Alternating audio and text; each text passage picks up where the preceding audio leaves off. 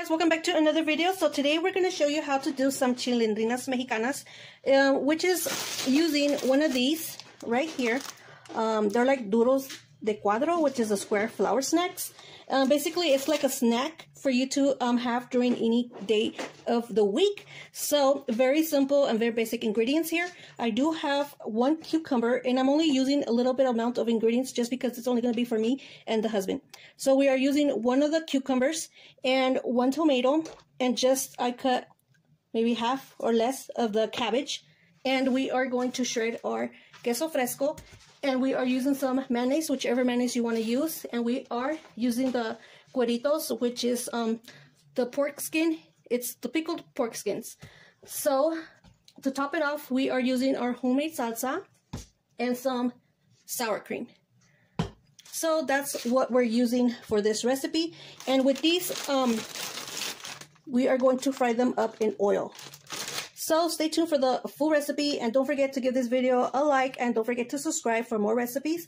And I do want to say thanks for the new subscribers and my old ones for keeping up with me, um, showing you my recipes. So let's get started with the process. Today my husband is helping me out with this recipe. Um, so what we are doing, we're just cutting up our tomato.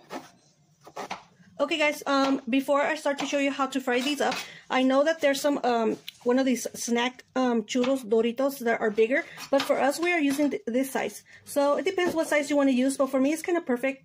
We're just going to um, prepare these um, duritos. So yeah. So next we are doing the cabbage.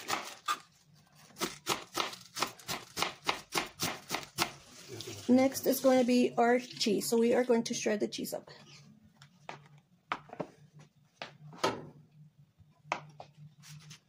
Next is going to be our avocado, so we're just going to chop them up in pieces, or if you want them in slices, it's up to you guys.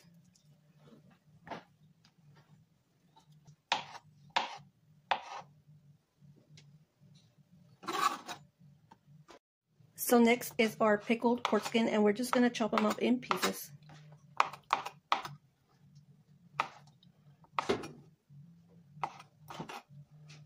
Okay guys, so here we have every, our ingredients that we're going to be using. As you saw, we did um, do our cucumbers, our pickled pork skin, queso fresco, cabbage, tomato, and our avocado.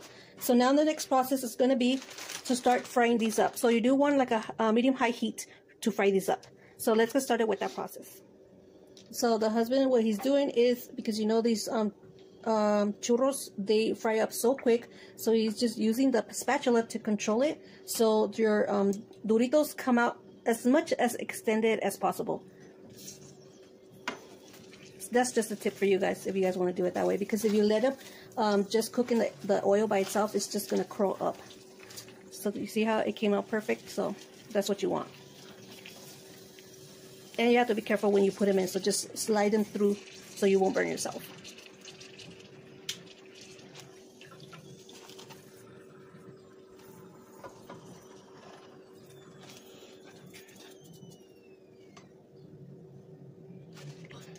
So there you have it, guys. That's how they came out, and perfect, perfect size.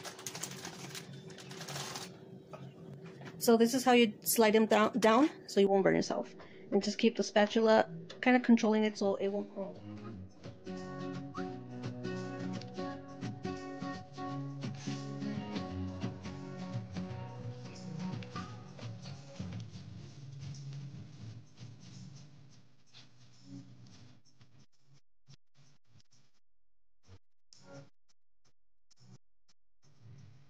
This is how they came out. Really nice and beautiful. And be careful because they are hot. Um, now what we're going to do is we're going to add the mayonnaise onto the surface here and then we're just going to start adding our ingredients into our duritos. So that's our next process guys. So we're going to use the little um, bread